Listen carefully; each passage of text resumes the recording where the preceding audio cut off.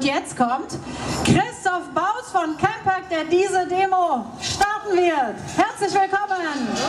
Ja, hallo, liebe Freundinnen und Freunde. Was war das gerade wieder für ein wunderschönes Bild? Die Landwirte, die Bäuerinnen und Bauern, die zum Teil hunderte Kilometer weit gefahren sind in diesem Meer aus Fahnen und Transparenten. Ich glaube, wir können ihn nochmal gemeinsam hinterherrufen. Wir sind euch so dankbar, dass ihr jedes Jahr immer wieder diese Strapazen auf euch nehmt. Ihr seid klasse. Wir stehen hinter euch. Wir streiten hier gemeinsam. Das hier, das ist euer Applaus.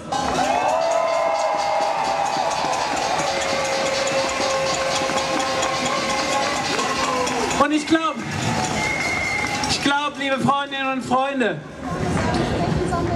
die haben heute noch mal ganz klar Frau Klöckner gezeigt, dass sie irrt. Sie meinte vorgestern bei der Grünen Woche, wir wollten hier mit romantisierenden Bullabü-Vorstellungen zurück zu einer vormodernen Landwirtschaft, weil man sich ein Idyll sucht, weil der eigene Alltag vielleicht ein bisschen zu hektisch geworden ist.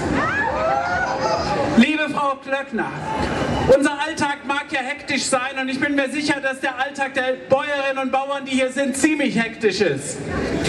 Aber vormodern, vormodern ist ihre Klientelpolitik für Agrarbarone, für Agrarbarone, die eine gewachsene Kulturlandschaft in Agrarsteppen verwandeln. Mit Güllemassen. Mit Güllemassen aus Agrarfabriken unser Trinkwasser verseuchen und mit Pestizidduschen der letzten Biene das gar ausmachen. Die Zukunft Landwirtschaft ist bäuerlich und Ihre Agrarindustrie, Frau Klöckner, Ihre Agrarindustrie hat ausgedient.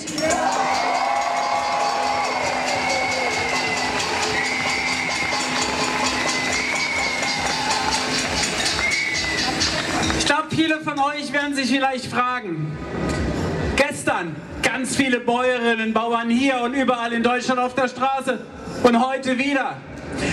Demonstrieren wir etwa gegeneinander? Von wegen.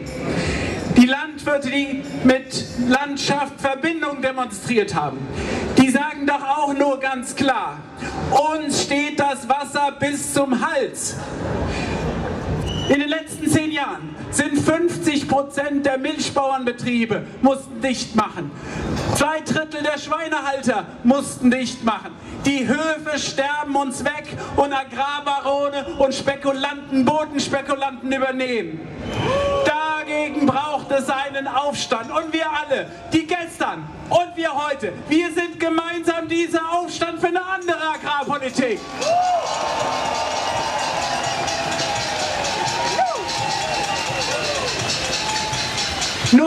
Leute, und das geht besonders raus auch nochmal an Landschaft, Verbindung. Ich glaube, wir müssen gemeinsam lernen, auch ganz klar Ross und Reiter zu benennen und zu sagen, wer uns diesen ganzen Mist eingebrockt hat. Das sind die Eigners, die Schmitz und Klöckners, die seit Jahren behaupten, die Landwirtschaft hätte nur auf dem Weltmarkt eine Zukunft. Und das Prinzip gelte immer weiter, wachse oder weiche. Das sind die BASFs, die Monsantos, die Bayer Monsantos und Syngenta, die immer wieder neue Pestizidcocktails in den Markt pressen und synthetische Düngermittel und patentiertes Saatgut in den Markt holen. Und das sind die Funktionäre vom Deutschen Bauernverband, der sich endlich mal umbenennen sollte in das, was er wirklich ist, ein deutscher Agrarindustrieverband.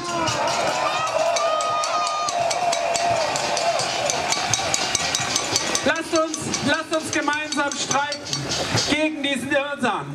Lasst uns gemeinsam sagen, Landschaft verbinden.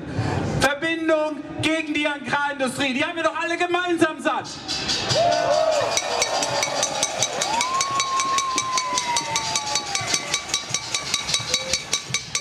Und ich glaube, wir können uns einig sein mit Landschaft, Verbindung. Das auch bezahlt werden muss. Gutes Essen, was produziert wird, die Artenvielfalt, die erhalten wird, Böden, die zu CO2-Speichern ausgebaut werden von Landwirten. Ja, das gibt es nicht zum Nulltarif. Dafür muss man Geld in die Hand nehmen. Ich bin selber seit drei Jahren so eine kleine Schafherde bei uns auf dem Hof. Und seit, das ist rauwollisches, pommersches Landschaf, alte Landrasse. Und seitdem ich nachts um drei diese Schafe mal eingefangen habe, seitdem wir auf dem Hof Flaschenlämmer aufgezogen haben und immer wieder bei Regen den Stall ausmisten, seitdem habe ich so ein bisschen ein Gefühl bekommen, was Landwirtschaft bedeutet, was das für ein Knochenjob ist und wie viel Wissen es braucht, wie viel Fachexpertise. Ich glaube, wir alle sollten dem genau Respekt zollen und das soll auch sein Geld wert sein. Landwirtschaft ist ein riesenhaftiger Knochenjob und wir streiten dafür, dass das auch vernünftig bezahlt wird.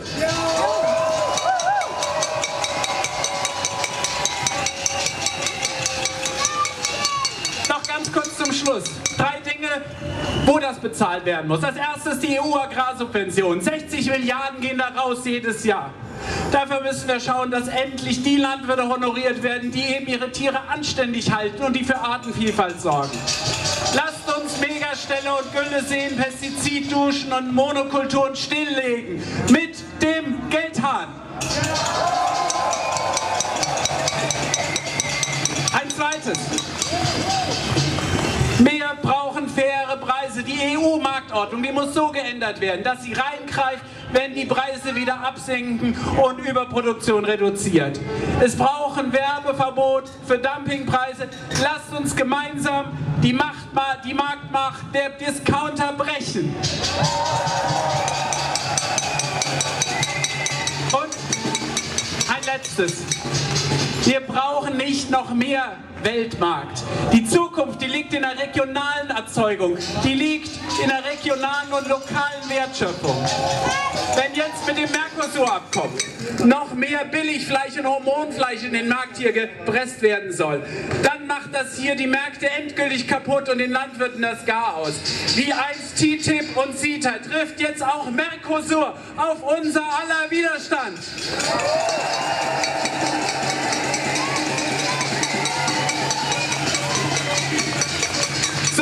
Leute, und jetzt geht's los, oder wird ganz viele laufen da jetzt schon lang. Es geht jetzt rüber zum Außenministerium, weil dort sitzen die Agrarminister der Welt und der EU zusammen. Und deswegen sind wir heute so goldrichtig. Die tagen da. Frau Klöckner war heute Morgen schon bei den Landwirten gewesen, hat mit ihnen drüber gesprochen. Und dort müssen wir jetzt richtig, richtig laut sein, damit sie uns endlich bemerken. Lasst uns gemeinsam streiten für eine andere, für eine bäuerliche, für eine ökologischere Landwirtschaft, für die Agrarwende. Lasst uns aufbrechen zum Agrarministerium.